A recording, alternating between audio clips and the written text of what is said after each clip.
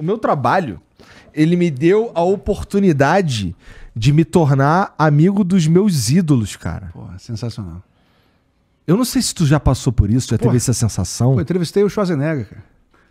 Entrevistei o Lionel Rich. Foda, hein, Cara, cara? Lionel Rich, We Are the World, cara. Easy! Pô, aí o cara foi lá no Fantástico e uma simpatia. De repente você vê esse cara que é um cara do mundo, né? É um cara que o mundo inteiro Aham. tá com ele. E de repente ele tá lá no Fantástico, ajudando a fazer uma dinâmica do Fantástico, do, do- do- um casal que queria. é, o cara queria fazer um pedido pra, pra noiva e ele participou. O Lionel Rich participou disso e cantou lá com a gente, tocou piano. Pô, maravilhoso, cara.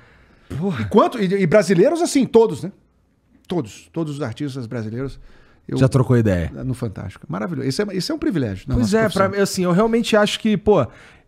Nossa, eu. Eu, eu me senti triste. É até um. Um desrespeito. sabe? Cara, que nem eu tava te falando, pô, eu gosto de. Eu sou metalheiro, gosto de metal espadinho, caralho. E agora eu sou amigo do Rafael Bittencourt, que é o cara que, que é o criador do Angra. Porra.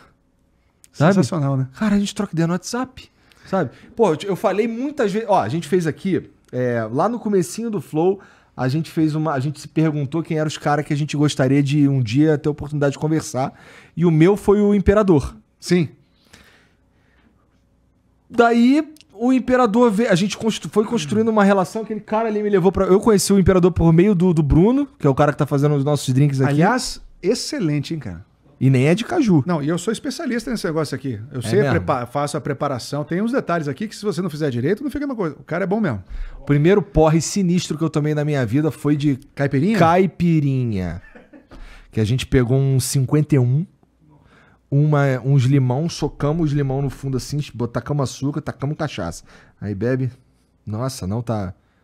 Bota mais um pouquinho de cachaça, bota mais. Nossa senhora. A gente irmão, umas, no final, loucuras, olha cara. isso, no final eu tava deitado, com a barriga pra cima assim, e, e eu, eu apagava e, e voltava. Eu apagava e voltava. Numa de, eu- uma dessas eu apaguei, quando eu voltei eu tava sentado, encostado na parede, assim, tava, tava no chão, encostado na parede, e eu tinha fumado um maço inteiro de um cigarro paraguaio.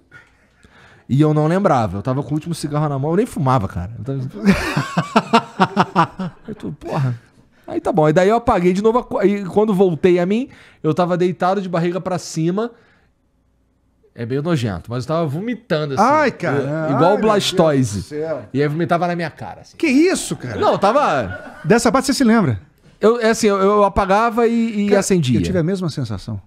Deixa eu contar meu porre. Ah. Teve a tempestade perfeita. tempestade perfeita por, por três coisas. Primeiro, eu era muito tímido. Eu sou muito tímido, sou extremamente tímido. Aí tu mentiu, hein? sou extremamente tímido. Só quando a situação é favorável que eu sou mais solto. Mas aí fui pra uma festinha. Na mesma semana, fui pra uma festinha.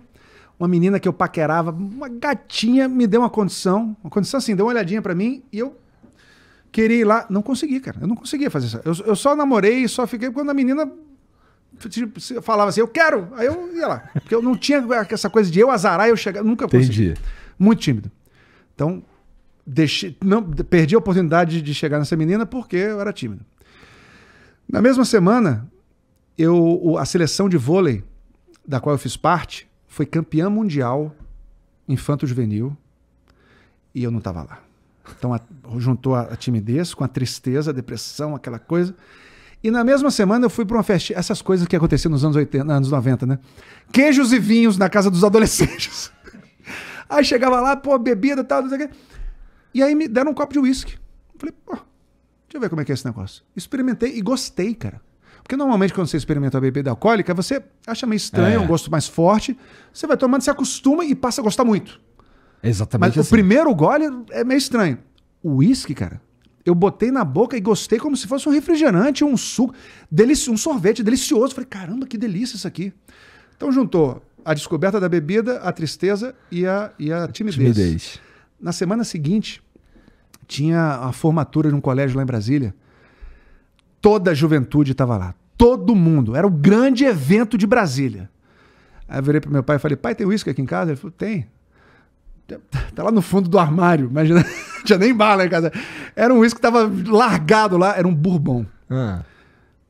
Aí eu peguei um copo como esse, botei gelo e não botei uma dose. Eu botei um copo. Eu enchi até aqui assim, ó. Cara, isso... Não, aí virei assim, eu, ó. Eu quero saber como é que termina. Aí virei no guti-guti, assim, ó. Peraí. Não tô bêbado. Enchi outro copo. Aí enchi outro copo, aí fui tomando. Não tô bêbado. Não tô ficando bêbado. O terceiro copo já quase não tinha gelo. Quarto, aí repus o gelo. Foi quarto? Não. Concluindo, em, num espaço de meia hora, que foi, foi enquanto eu estava esperando o meu, que hoje é meu compadre, meu melhor amigo, e, e muito por causa dessa história também. No espaço de meia hora que eu estava esperando meu compadre me pegar, eu tomei sete copos. Eu não sei nem quantas doses dá isso. Mas virando, Quantos anos? 17. Brunão, já viu algo parecido na sua vida, cara? Ele também fez? Ele fez a mesma coisa? Não, eu não sei. Isso, sete copos, não são sete doses. Tu é maluco, cara. Como é que tu saiu Não, andando? sete- não, aí eu- e aquela coisa, não tô bêbado, não tô bêbado, que eu queria ficar bêbado e queria ter essa sensação, que eu nunca tive, com cerveja eu ia tomando e não ficava, sei lá, 17 anos, não tinha experiência de nada. Sete copos, cara. Eu sei que no final eu já tava assim, eu tô bêbado, eu não consigo ficar bêbado. E já entrei no carro do meu amigo gritando, e eu era, pô, imagina, super gente, gritando, e passava as pessoas passando na rua e eu e falando com todo mundo Antes da noite começar. indo pra noite. Indo pra... Aí cheguei na noite mexendo com todo mundo. Imagina, eu era super tímido. A última lembrança que eu tenho é de colocar um copo de cerveja na boca, assim. A última lembrança. Aí, cara, vem essa coisa de que você falou de, Apague de e apagar e, volta. voltar, que parece que filme, que você tá assim, de repente faz aquela edição rápida assim. e Você... Nossa, eu tô me sentindo mal. Tem alguma coisa estranha. Ai, que dor aqui, tá muito. Porra, tô de pijama na minha cama. Eu não durmo de pijama, pô. Quem botou pijama? Como é que eu vim parar aqui, cara? Aí eu fui saber, cara. Eu fui pra pista de dança esbarrando em todo mundo e voltei, meu irmão. Parecia a menina do exorcista, assim. E todo mundo abrindo. Acabei com a festa. Acabei com a festa. E aí alguém tinha que me levar pra casa. E o Reinaldo, meu melhor amigo, meu compadre, me levou. Aí chegou na, na porta, o, o segurança falou assim: ó, se sair, não volta mais. Aí quem tava ajudando o Reinaldo falou assim: vai você, meu irmão, vou voltar pra festa. e o Reinaldo me levou. Mas me levou, cara. Eu, eu não ficava em pé, assim, arrastando. Sabe quando o cara tá arrastando os pés? E a gente não tinha experiência. Tinha que ter levado pro hospital pra tomar glicose. Era um, sei lá, um coma alcoólico, um negócio absurdo que eu tava. Assim, ó. Tanto que eu cheguei em casa, eu morava no primeiro andar sem elevador. O Reinaldo, ainda- o teve que me carregar na escada. Quando tocou na campainha, a sorte é que o meu, irmão Felipe estava lá em casa. Porque pro meu pai atender a porta ia ser horrível. Aí o Felipe abriu a porta, o meu estado era tal que o Felipe falou assim: Meu Deus, o Tadeu foi atropelado. Que isso? Eu tava acabado, cara. Era, eu suava tanto que o meu. Passou do- da, da camisa pro blazer, o blazer encharcado. E aí foi aquela baixaria, né? Minha cunhada me deu banho. me botou pijama, situação, aquela cara. situação. Quando eu vi, eu tava acordado. Na minha, eu tava acordando na minha cama de pijama com um mal-estar horroroso e não me lembrava de nada, que eu achava que essa coisa de você apagar, fazer as coisas não se lembrar era história que as pessoas inventavam. Não é mesmo. verdade. eu já caí dentro de vala. É, tipo, eu tava na roça e aí a gente sentado aqui assim, é, tomando vinho, que não era vinho, era tipo Cantina da Serra, era Dom Bosco, Sangue de Boi. Sim. Algum desses aí, a gente sentado aqui assim, fazendo um churrasco de umas linguiças, todo mundo duro, né? Umas linguiçinhas assim, um churrasquinho, e uns amigos tomando e ouvindo um Iron Maiden. Olha aí. Aí tamo ali, daqui a pouco eu fui levantar pra. Pô, preciso, preciso dar uma mijada. Levantei. Quando eu levantei, meu amigo, ux, já era. Caí, cara, era, no- era na roça, né? Então na roça tinha aquele lance de, de vala aberta mesmo, onde Aham. passava esgoto, não sei o que. Nossa, Nossa, caí- você caiu ali? Eu caí ali Nossa dentro, fiquei deitado assim sem Senhora. entender. Caralho, caí aqui, mano. O que que tá acontecendo? Aí Se levantei. banhando, se banhando ali. Levantei todo sujo, aí fui pra casa, cambaleando. No outro dia foi um dia horroroso, cara, sentindo mal demais.